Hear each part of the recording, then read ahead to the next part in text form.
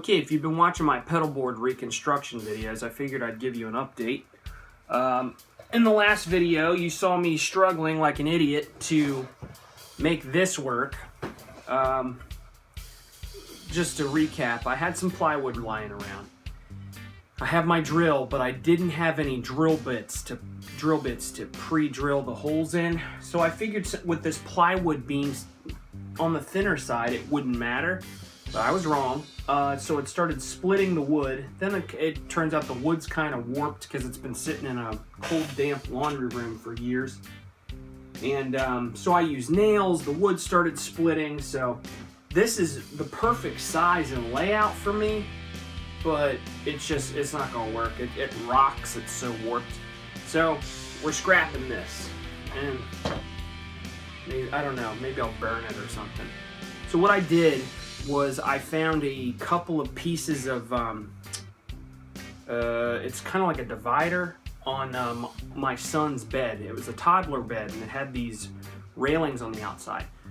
So I sawed a couple of them up and uh, bought some drill bits and was able to put this together. If you couldn't tell, I'm really into Batman. Uh, it's like a two-tiered pedal board and it, it, I think it looks kind of crappy with these going vertical like that, but it ends up working really well zip tying the cables to these and it's kind of it's if you can't tell it's these columns they're recessed. So the cables you can kind of tuck under and then zip tie them and they're completely out of the way. It's also two two tiered um, you know it's got this bottom level here and then the top level it's almost like a rise but it's raised up. I kind of need that at this point.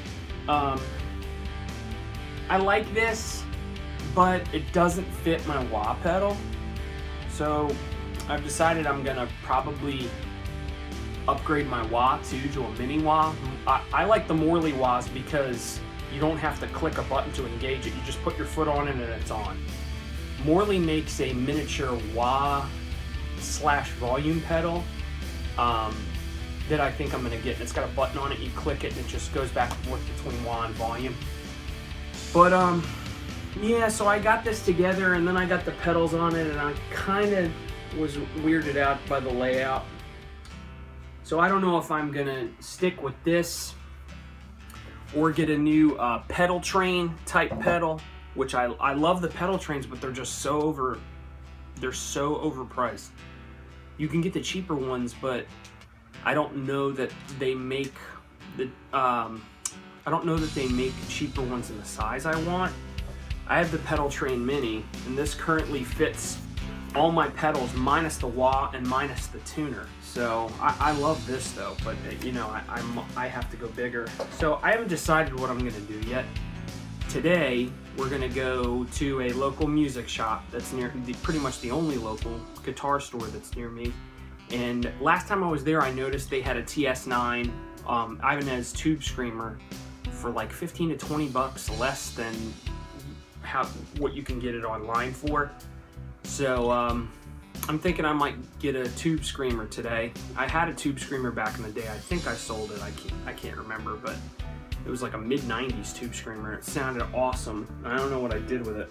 So um, later today, we should probably have a tube screamer. Let's see. Okay, excuse the uh, messiness of the board. Like I said, it's this isn't permanent. It's just everything's back on my old board.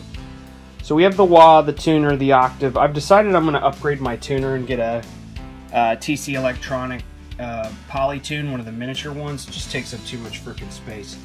I love the octave, that's staying. The modified overdrive and the big muff you saw that I bought in a previous video. I'm gonna upgrade the delay and the phaser eventually and the chorus will stay and there's my MXR brick to power it all. And I put on my Furman Power Black. Uh, I've had this thing for years and it rules. Uh, it's just to power everything. It's sturdy as hell and works really well. I'm gonna eventually up, I think I'm gonna go mini wah route too because my Bad Horsie's just way too big. Um, but yeah, it looks like crap, so I can't decide whether or not I'm going to go on the backboard, stay on this, or buy another, uh, buy a bigger pedal train eventually. Going to um, making music here. Let's See if they got this TS9. Okay, so I just got out of making music and I got a couple of new friends. This guy, this guy, MXR carbon copy. All right, and I got a mini tuner. The Korg one, he, the guy showed me how it worked. Works pretty good. Hooray! So I have three new friends here. Let's, uh, the reason why the TS9 was $20 cheaper, because it was an open box uh, unit, but is in perfect working condition. That. I've tube screen before. Howdy doody. Perfect condition, brand new. Only like 70 bucks instead of 100. Take it. Look how little that bad boy is up next to a regular tuner. Hold on. Let's put it up next to the... Oh my god. I can fit two of these on top of my old tuner. So maybe I'll uh, go back to the pedal train mini. But uh, this little guy is awesome.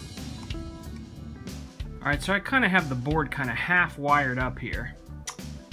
And uh, I don't have enough power to power the wah, so I ordered a more. I used to have a Morley power supply for it. I don't know what I did with it. So um, the pet, the uh, new tuner works awesome. Um, I think that's really cool. But the uh, tube screamer is I got after the uh, overdrive. I like having the octave first in the chain, followed by the modified overdrive. Uh, TS9 as a boost. Um, the big muff, of course. Okay, on the top row, obviously those are going to go through the effects loop. Uh, I currently don't have a real amp. I should say I don't have a tube amp. I just sold my Marshall to buy a Panama amp, and I'm waiting for it to get here. Um, so right now, everything's going through the front of a little uh, practice amp I have. It sounds like balls, so I'm not going to give you a sound sample yet. But um, those three will be going through the effects loop. Everything else will be going through the front of the amp. Um, and uh, who knows if we'll keep this board, but this is how I have it configured. I'm really digging the carbon copy.